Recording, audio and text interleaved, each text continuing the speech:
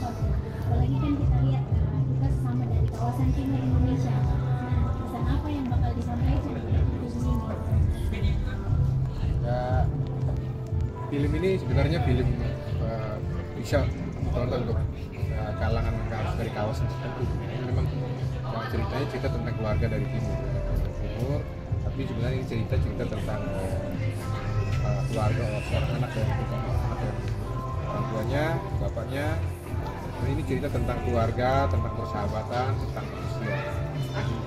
Jadi uh, masuk untuk semua ini. Jadi hanya uh, dikemas dari keluarga satu keluarga dari timur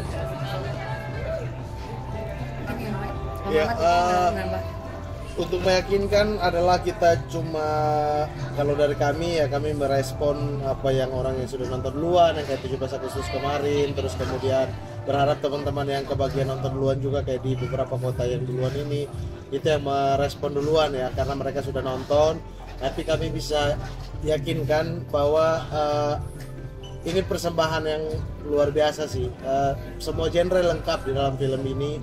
Terus kemudian banyak hal-hal yang baru pertama kali. Pertama kali mungkin dengan case orang timur terbanyak di eh, sejarah perfilman Indonesia mungkin ya Eh, jadi kita menawarkan hal-hal yang berbeda ya silahkan ditonton. Kalau kalian suka ya silahkan kasih tahu orang untuk kalian suka. Kalau kami sih saya pribadi ya saya tidak tahu yang lain. Saya pribadi saya jujur eh, pede sama film ini. Dan Bang Ari sebagai sutradara saya kenal sekali orang ini. Eh, dia sangat tidak pede sama karya-karya dia.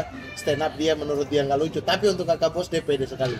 Bahwa ini persembahan yang menurut dia ultimate yang dia bisa keluarkan untuk masyarakat perfilman Indonesia. Jadi silakan 29 Agustus nikmati aja Bang, apa nih pesan dan makna yang mau disampaikan ke penonton melalui film Kakak Bos ini?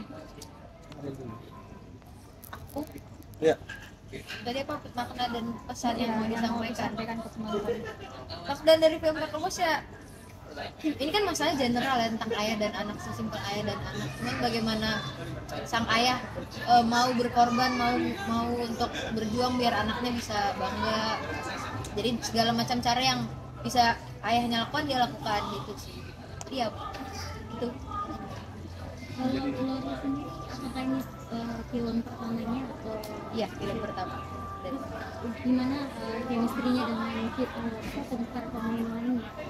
dari mulai dari awal datang sih aku nggak ada nggak ada apa kesulitan untuk membangun chemistry sih. Karena mungkin karena sesama timur jadi ya lebih gampang ngobrolnya bahasa basinya juga jadi gampang. Jadi dari reading juga udah akrab sama semua case case nya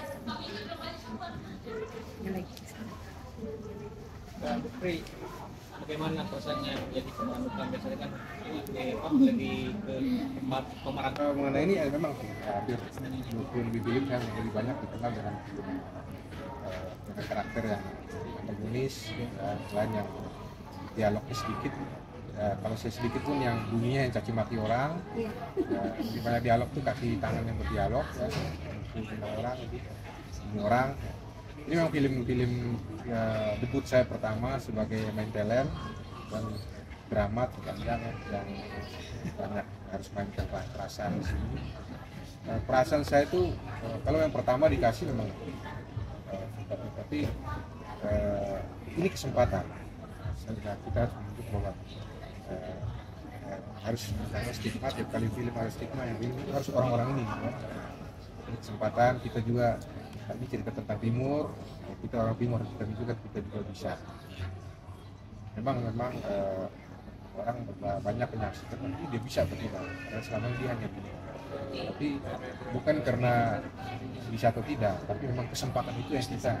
Nah, ya, jadi kesempatan kita saya menunjukkan bahwa kita juga bisa. Puji Tuhan bersama dengan teman-teman semua saling mensupport atau semua lokasi syuting semua akhirnya semuanya berjalan dan hasilnya seperti yang eh, ya, eh, kita memang cita-cita eh, ada laki-laki Kriting itu memang dia berharap orang timur itu bisa tidak hanya dipilih hanya karena bisa teman timur tapi kalau bisa film-film yang lain pun kita seperti yang di Hollywood ya misalnya kayak yang kulit-kulit hitam pun bisa jadi pertama kayak Will Smith ya sebenarnya gitu ya kayak di Murphy gitu kan yang buka orang ya berharap gitu jadi ya.